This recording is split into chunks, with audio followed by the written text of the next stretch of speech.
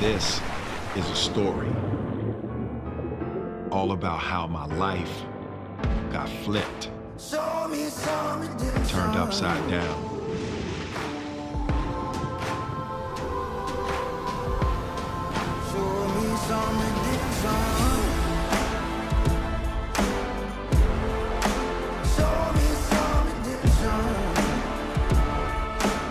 I looked at my kingdom.